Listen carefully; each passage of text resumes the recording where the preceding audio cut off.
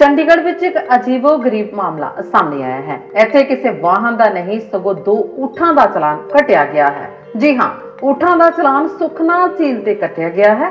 ਸੁਖਨਾ ਝੀਲ ਤੇ ਆਉਣ ਵਾਲੇ ਸੈਲਾਨੀ ਊਠਾਂ ਦੀ ਸਵਾਰੀ ਦਾ ਆਨੰਦ ਲੈਂਦੇ ਹਨ, ਪਰ ਹੁਣ ਇਹ ਆਨੰਦ ਨਹੀਂ ਲਿਆ ਜਾ ਸਕੇਗਾ। ਕਿਉਂਕਿ ਇੱਥੇ ਊਠ ਲਿਆਉਣ ਵਾਲੇ ਇਹਨਾਂ ਦੇ ਮਾਲਕਾਂ ਦੇ ਚਲਾਨ ਕੱਟ ਕੇ ਊਠਾਂ ਨੂੰ ਇੱਥੇ ਨਾ ਲਿਆਉਣ ਦੀ ਸਖਤ ਹਦਾਇਤ ਦਿੱਤੀ ਗਈ ਹੈ।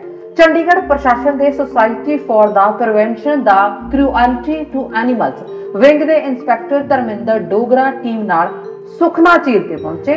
ਇੱਥੇ ਉਹਨਾਂ ਨੇ ਵੇਖਿਆ ਕਿ ਊਠ ਮਾਲਕਾਂ ਵੱਲੋਂ ਰਾਜਸਥਾਨ ਊਠ ਉਲੰਘਣਾ ਐਕਟ 2015 ਧਾਰਾ 5 ਅਤੇ ਉਪਧਾਰਾ 2 ਦੀ ਅਣਦੇਖੀ ਅਤੇ ਜਾਨਵਰਾਂ ਨਾਲ ਕਰੂਰਤਾ ਨਿਯਮ 1973 ਧਾਰਾ 6 ਦੀ ਉਲੰਘਣਾ ਕੀਤੀ ਗਈ ਹੈ। ਕਿਉਂਕਿ ਸ਼ਹਿਰ ਦਾ ਮਾਹੌਲ ਊਠਾਂ ਦੇ ਅਨੁਕੂਲ ਨਹੀਂ ਹੈ। ਉੱਥੇ ਹੀ ਇਹਨਾਂ ਊਠ ਮਾਲਕਾਂ ਕੋਲ ਊਠ ਦੀ ਸਵਾਰੀ ਦਾ ਕੋਈ ਲਾਇਸੈਂਸ ਨਹੀਂ ਸੀ ਅਤੇ ਨਾ ਹੀ ਇਹਨਾਂ ਨੇ ਆਪਣੇ ਊਠਾਂ ਦੀ ਰਜਿਸਟ੍ਰੇਸ਼ਨ ਸੰਬੰਧਿਤ ਵਿਭਾਗ ਕੋਲ ਕਰਵਾਈ ਸੀ। ਇਸ ਤੋਂ ਬਾਅਦ ਇੰਸਪੈਕਟਰ ਧਰਮਿੰਦਰ ਡੋਗਰਾ ਨੇ ਊਠਾਂ ਦਾ ਪੀਸੀਏ ਐਕਟ 1960 ਤਹਿਤ ਚਲਾਨ ਕੱਟਿਆ ਅਤੇ ਉਹਨਾਂ ਦੇ ਮਾਲਕਾਂ ਨੂੰ ਹੁਣ ਇੱਥੇ ਦੁਬਾਰਾ ਊਠ ਨਾ ਲਿਆਉਣ ਤੋਂ ਵੀ ਰੋਕ ਦਿੱਤਾ ਹੈ। ਬਿਊਰੋ ਰਿਪੋਰਟ ਪਾਸ ਟੀਵੀ